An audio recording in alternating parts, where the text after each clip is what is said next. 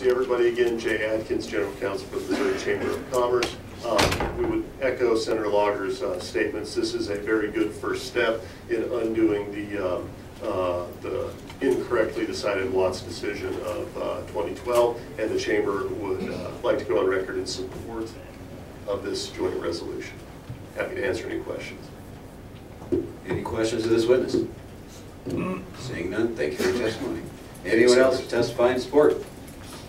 Jordan Schlemm on behalf of Washington University Physicians. This is another